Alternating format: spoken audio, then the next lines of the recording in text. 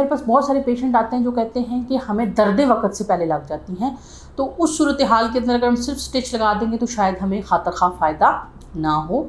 उस सूरत हाल के अंदर जो है वो हमें पेशेंट की वक्त से पहले दर्दें लगने की जो वजह है वो भी आइडेंटिफाई करनी पड़ती है कि क्यों इस पेशेंट को लग जाती हैं दर्द। मरीज़ को दर्दें स्टार्ट हो जाती हैं सातवें या आठवें महीने पे, लेकिन उससे पहले तक कोई पानी की थैली लीक नहीं होती है, कोई बच्चेदानी का मुँह नहीं खुलता है तो उस सूरत हाल के अंदर अगर हम पेशेंट को चौथे महीने के एंड और पाँचवें के स्टार्ट के अंदर एक टांका लगा भी देते हैं तो वास्तव उसकी हमें खातर हुआ रिज़ल्ट नहीं आते।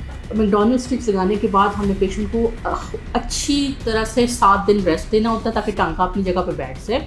उसके बाद हमने उनको बाकी चीज़ों को भी प्री टर्म लेबर का प्रोफाइलेक्सिस भी करना होता है।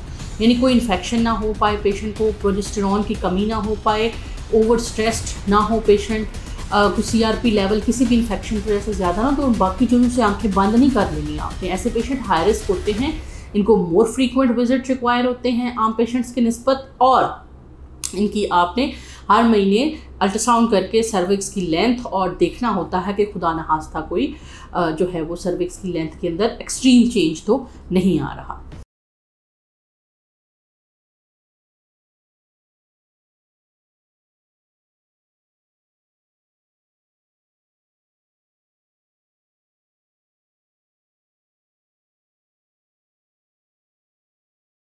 अल्लाम मैं हूँ डॉक्टर नाइला कंसल्टेंट गायनकोलॉजिस्ट और फर्टिलिटी स्पेशलिस्ट गायनी सोल्यूशन के फॉरम से।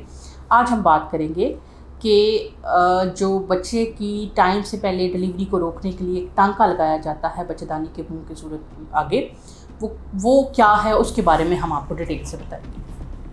अब होता ये है कि बहुत सारे लोग होते हैं जिनके बच्चे टाइम से पहले पैदा हो जाते हैं। अब उसमें दो चीज़ें इंपॉर्टेंट हैं। या तो वो डिलीवरी हो जाती है प्री टर्म लेबर की वजह से, कि दर्दें आईं, दर्दों की वजह से ज़ोर पड़ा, और बच्चेदानी का मुँह खुला और बच्चा ज़ाया। या दूसरी क्या वजह होती है कि बच्चेदानी का मुँह कमज़ोर है, बच्चे की वजह की वजह से बच्चेदानी का मुँह खुल गया, पानी की थैली लीक हो गई, और उसके बाद हल्की फुल्की दर्दें आई और डिलीवरी ये दो मुख्तलिफ़ कंडीशंस हैं। जो पहली मैंने आपको कंडीशन बताई है जिसमें मरीज़ को दर्दें स्टार्ट हो जाती हैं सातवें या आठवें महीने पे, लेकिन उससे पहले तक कोई पानी की थैली लीक नहीं होती है, कोई बच्चेदानी का मुँह नहीं खुलता है तो उस सूरत हाल के अंदर अगर हम पेशेंट को चौथे महीने के एंड और पाँचवें के स्टार्ट के अंदर एक टांका लगा भी देते हैं तो वास्तव उसकी हमें खातर ख्वा रिज़ल्ट नहीं आते। उसकी वजह बॉडी के अंदर प्रोजेस्टिरॉन हार्मोन की कमी भी हो सकती है। हमारी बॉडी के अंदर इन्फेक्शन भी हो सकता है सीआरपी का ज़्यादा होना, या बैक्टीरियल वेजिनोसिस भी हो सकता है, और बाज़ात जो है वो बच्चे के अंदर भी कुछ ऐसे फैक्टर्स हो सकते हैं जो कि वक्त से पहले दर्दों को उजागर कर देते हैं। लेकिन अगर आपकी बच्चेदानी का मुँह कमज़ोर है, यानी कि आपका जब अल्ट्रासाउंड हुआ तो डॉक्टर ने बताया कि नॉर्मली जो बच्चेदानी का मुँह है, उसकी लंबाई इतनी होनी चाहिए जो कि वक्त के साथ साथ कम हो रही है।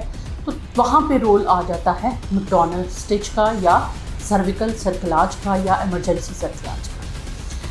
अच्छा अब हमारे पास बहुत सारे पेशेंट आते हैं जो कहते हैं कि हमें दर्द वक्त से पहले लग जाती हैं। तो उस सूरत हाल के अंदर अगर हम सिर्फ़ स्टिच लगा देंगे तो शायद हमें खातर खा फ़ायदा ना हो।